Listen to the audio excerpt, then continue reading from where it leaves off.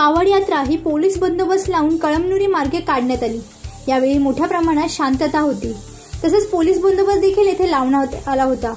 पत्रकारावर मारहाण करणाऱ्या पोलिसांवर कारवाई करून त्याला ड्युटी पोलीस मुख्यालय हिंगोली या ठिकाणी देण्यात आली. अशी माहिती पोलीस उपाधीक्षक यशवंत काळे यांनी दिली.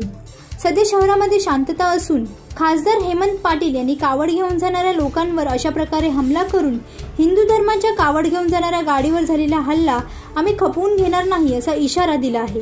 याचबरोबर हिंदू धर्माच्या मोठ्या प्रमाणे भावना दुखावल्या आहेत असेही मत त्यांनी व्यक्त केले. प्रतिनिधी बालाजी देशमुखसह आधार न्यूज हिंगोली. संख्येनं शिवसैनिक इथं महादेवाच्या मंदिरावर जमा होत होते.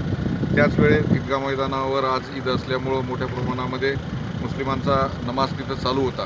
परंतु जे काही शिवसैनिक रस्त्याने येत होते त्यांच्यावरती अचानक दगडफेक मोठ्या प्रमाणामध्ये चालू झाली.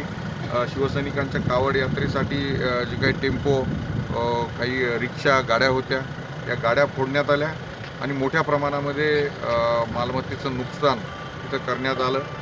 पोलीस प्रश्न प्रशासनाने ताबडतोब परिस्थिती आटोक्यामध्ये आणली. परंतु पंधरा ते वीस शिवसैनिकांचे डोके फुटलेले आहेत. आज खरं म्हणजे हिंदू धर्मियांचा कावड यात्रेचा सण आहे. आणि म्हणून सर्व शिवसैनिकांनी शांततेने आणि शिस्तीने ही कावड यात्रा कळमनुरीकडे नेलेली आहे. आणि कळमनुरीवरनं परत ही महादेव मंदिरामध्ये इथे इथे यात्रा येणार आहे. सर्व व्यापारी बांधवांना आणि महिला भगिनींना सगळ्यांना विनम्र आवाहन करतो की कुठल्या अफवावरती आपण विश्वास ठेवू नये.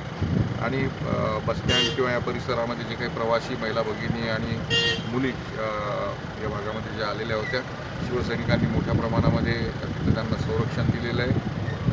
गावामध्ये सुद्धा शिवसैनिक फिरत आहेत आणि कुठल्याही हिंदू बांधवाला कुठल्याही प्रकारची इजा होणार नाही याची जबाबदारी आणि खबर खबरदारी आम्ही घेणार आहोत. आणि जर अशा पद्धतीनं जर हल्ले आमच्या धार्मिक सणांवर किंवा आमच्या धार्मिक ठिकाणांवर जर होत असतील तर ते आम्ही सहन करणार नाही.